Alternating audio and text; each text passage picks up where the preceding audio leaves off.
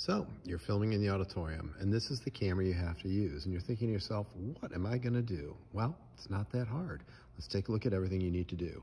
First, right here, this is where all the magic happens. Press R to record, do that five minutes, that's right, five minutes before you begin. Once you've pressed R to record, you should be good to go. Once in a while, you will use the data button, and when you press the data button, you will see the data switch on and off on your camera and then that way you'll be able to see what you need to see in the screen. All right. This right here at the bottom here is your zoom in, zoom out. I'm going to press it up and you'll see it will zoom in and it will zoom out.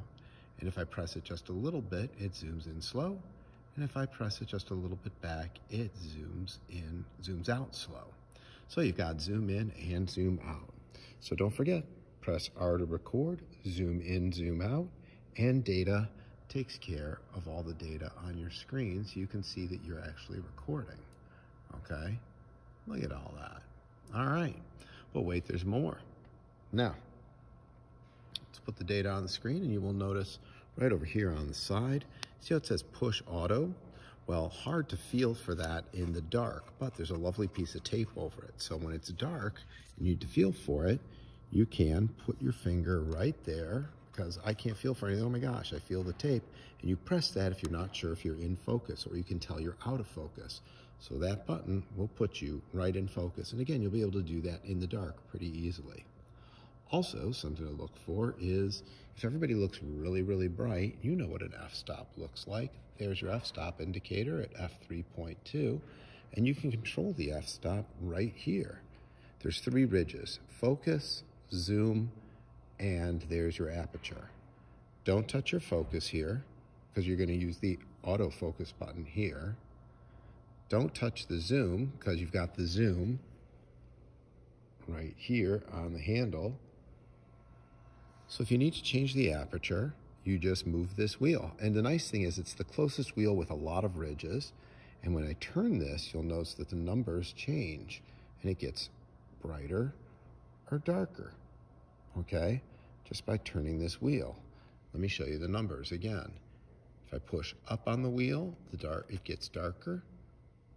If I push down on the wheel, it gets brighter. Average wheel is right around 3.6. So we're going to leave it at 3.6 for now. But if you do need to change it, you can. Last but not least, when the show's over, wait a few seconds just to be safe, and then press the R button. So you press the R button five minutes before the show starts, and you wait a few seconds before it ends. When you do press the R button, notice something. I'm going to press it.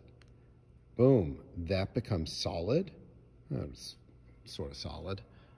That becomes a solid red. That becomes a solid red. And that says record. So make sure that you see all those things. Don't worry about the little blinking light here. Just so long as you press the R, it should record. You're good to go. Any questions, you can always text Mr. Kaufman, and then you know that's me. Use Remind. When you're finished at the end of the night, take your finger at the power button and press off. It's right in the middle there. If you forget to do that, the world will not come to an end. Just for as long as you finish recording, that's the most important thing. So again, event starts. Before the event starts, press record. Before the event starts. After the event is over, press the R. Ignore all these other buttons. The data button, the zoom button, and the record button. The push auto button, and this little dial for aperture are all you really need. Okay, turning the cameras off is just a bonus. All right, this video has been under five minutes, not too bad. Please enjoy and good luck when filming. Oh, one more thing. Don't just sit here and watch the film. You're not here to sit and watch, you're here to film. So if someone's at the podium, zoom in on the podium and make sure you get them, okay? Don't go super fast, don't go super slow. If people are walking across the stage, just keep it wide and get them walking across the stage. All right? If they're announcing people, again, zoom in, get them doing their announcements, See how nice that looks? All right, zoom out and watch people walk across the stage. Good way to start any program is to have a nice wide shot and then zoom in. You are there to record and be a human being who moves the camera. Do not just sit here and watch the show. I can have anybody do that. They can all press record. Okay? Again, any questions, don't feel feel free to text me.